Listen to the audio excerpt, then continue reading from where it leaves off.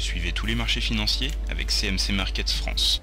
Avec CMC Markets, tradez les CFD sur indices, devises, matières premières et actions 24 heures sur 24. CMC Markets, un des leaders mondiaux du trading de CFD Forex depuis 1989.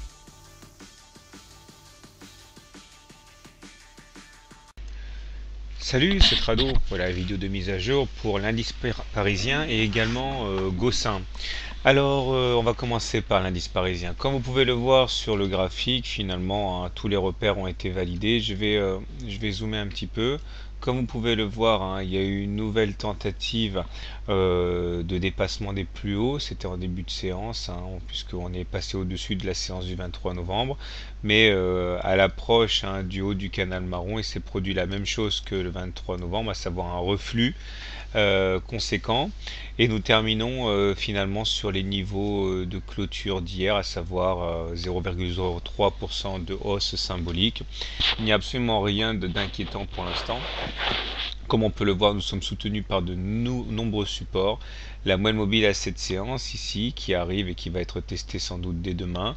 Nous avons également les 23,6% de retracement de Fibonacci correspondant donc à 23,6% de la hausse qui a été accumulée entre le début de la hausse et la fin de la hausse, et puis surtout euh, la moelle mobile à 20 séances qui est haussière, la médiane de la fourchette d'Andros bleu, bon bref, ce n'est pas les supports qui manquent, et c'est pas la, bougie rouge d'aujourd'hui qui peut en mettre en, péril à elle seule euh, euh, la tendance très positive à laquelle on assiste maintenant depuis plus d'une semaine.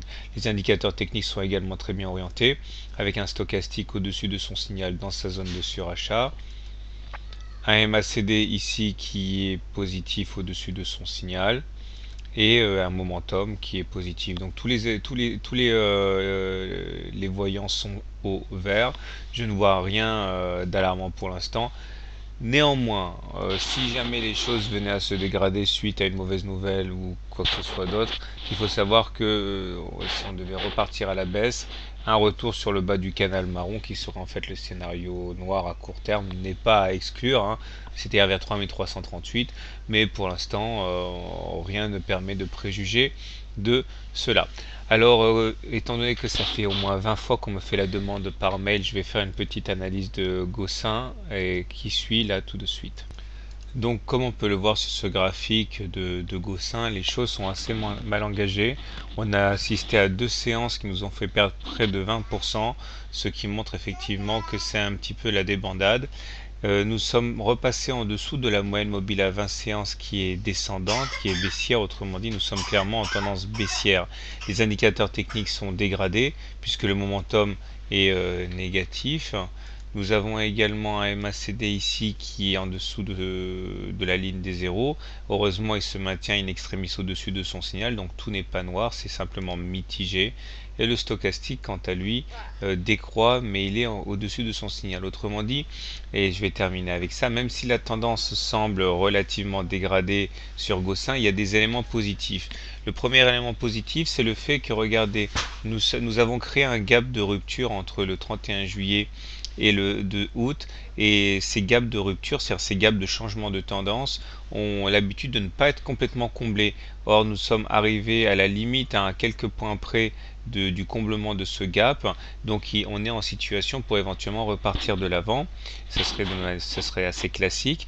Et puis, en plus, regardez, les 61,8% de retracement, de retracement de Fibonacci semblent tenir. C'est-à-dire qu'entre les plus bas du, 20, euh, du 30 juillet et les plus hauts du 21 août, on a connu une hausse assez considérable. On a retracé 61,8%. Ce niveau des 61,8% a tenu euh, lors de l'attaque du 8 octobre.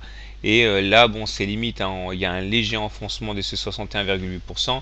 Mais euh, il y a eu des rachats, hein, comme on peut le voir avec la mèche basse. Donc il est possible que ce soit la fin de la consolidation. Donc pour faire simple, la tendance est baissière sans ambiguïté, mais on est sur des niveaux qui peuvent effectivement sonner euh, euh, un retour des investisseurs car on est sur des supports techniques assez importants. Donc avantage euh, aux baissiers quant à la dynamique, mais avantage aux, acheteurs si on fait référence aux, aux supports graphiques. Voilà, je vous souhaite donc une bonne journée, de bons trades et n'hésitez pas à vous abonner à la newsletter gratuite pour recevoir les mises à jour dans votre boîte aux lettres le matin. CMC Markets, un des leaders mondiaux du trading de CFD Forex depuis 1989.